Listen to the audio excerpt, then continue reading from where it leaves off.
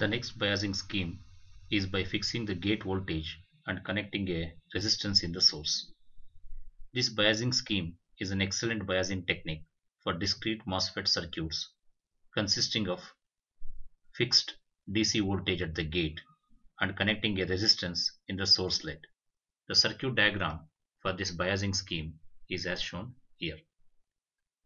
The RG1 and RG2 as usual they act like a voltage divider bias to fix the gate voltage. And here the additional thing what we see here is the negative feedback or degeneration resistance connected at the source lead.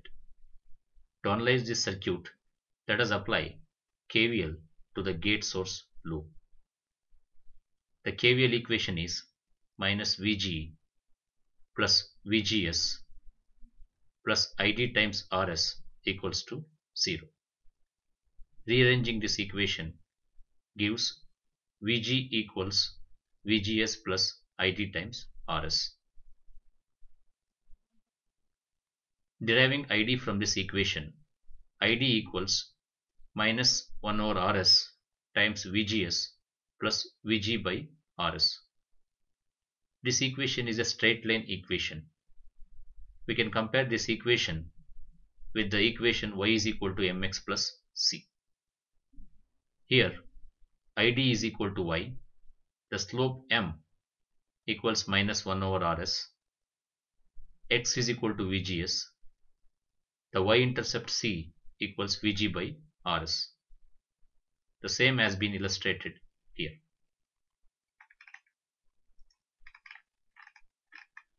Next let us see more details of this biasing scheme due to the source degeneration resistance.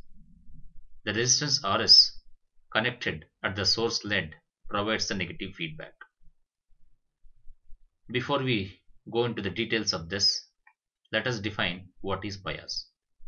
The bias is the state of the system when there is no signal applied. The bias point should be stable, that is stable for variations in process transconductance parameter, aspect ratio W by L, threshold voltage, temperature, manufacturing variability, etc. Now coming back to the source degeneration importance, the RS here provides a negative feedback. This can be better understood by applying a Kirchhoff voltage law to the gate source loop.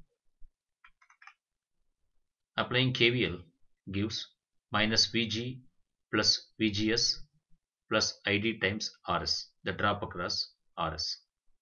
Rearranging this equation, we obtain Vgs equals Vg minus Id times Rs. Let us call this as equation 1. Also we know that the saturation current flowing through this MOSFET ID is given by ID equals 1 by 2 mu n COX times W by L into VGS minus VT whole square. Let us call this as equation 2. The negative feedback can be better understood by equation 1 and 2. If the drain current increases due to the variation in mu n COX aspect ratio or VTN, specifically if mu n COX aspect ratio increases or threshold voltage decreases, the drain current increases. From equation 1, when the drain current increases, IDRS, the drop across RS, increases. When the drop across RS increases, the gate voltage that is obtained from the voltage divider bias is constant. Therefore, the gate source voltage VGS decreases. The gate source voltage VGS decreases since VG is a constant.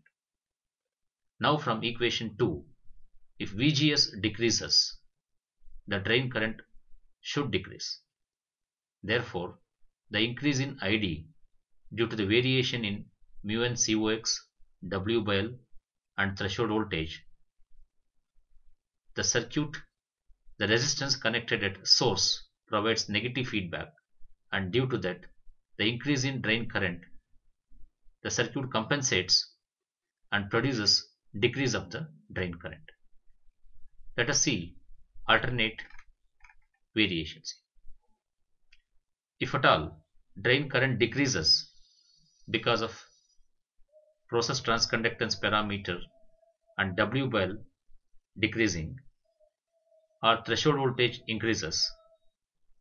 From equation 1, the drop across RS decreases. Once the drop across RS decreases, since gate voltage is fixed, the gate to source voltage has to increase.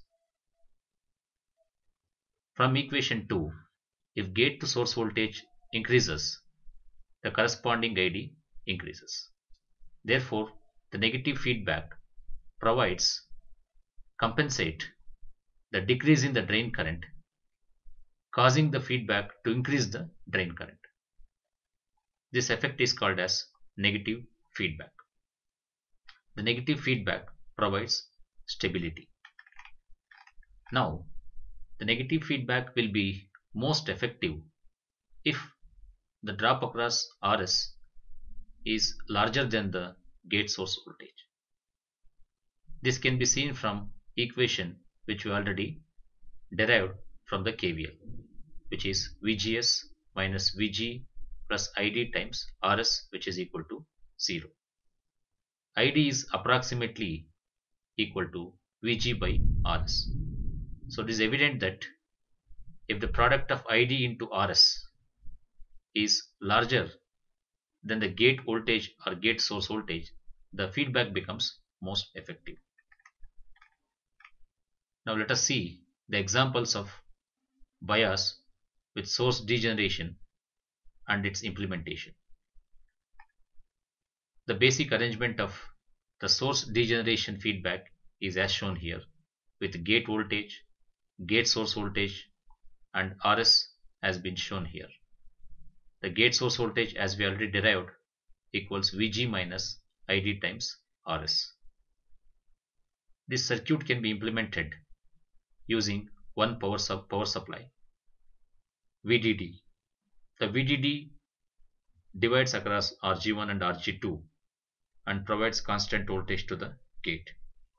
The RS here provides negative feedback and compensates for the variation in the drain current due to process transconductance parameter, aspect ratio, temperature, etc.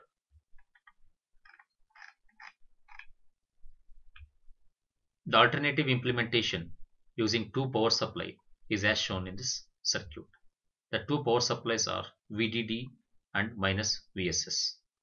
The gate to source voltage equation for this circuit is VGS equals VSS minus ID times RS. Now, let us go through the more details of this biasing scheme by considering the device characteristics. The VGS versus ID characteristics for two different devices are shown here.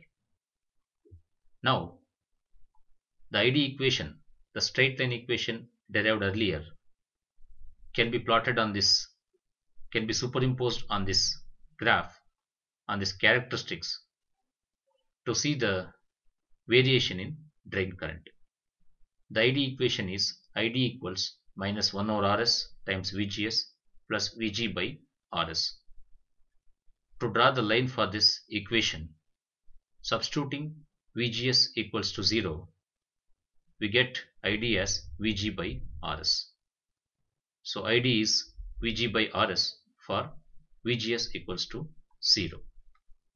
Similarly, for id equals to 0 vgs equals vg for id equals 0 vgs equals vg once we know these two extreme ends the straight line can be drawn. Now the device if the MOSFET is replaced with the amplifier circuit is replaced with two different devices let us say device 1 and device 2 Due to the process variations, the devices exhibits different characteristics. And now, the drain current obtained corresponding to this intersection ID2 and ID1, the difference between these two currents are small. So therefore, we can say that delta ID is small. Because this happens due to the RS increases the bias stability. In the previous biasing circuit, by fixing VGS alone, we saw that delta ID by ID is larger. But by biasing, fixing VG and connecting a resistance in the source increases bias stability. Therefore, delta ID by ID is smaller. The difference, smaller the difference, the circuit is more stable. This characteristic shows that for two device that has different process variations, parameter variations, the change in drain current for the corresponding two devices is small due to the RS connected in the source lead.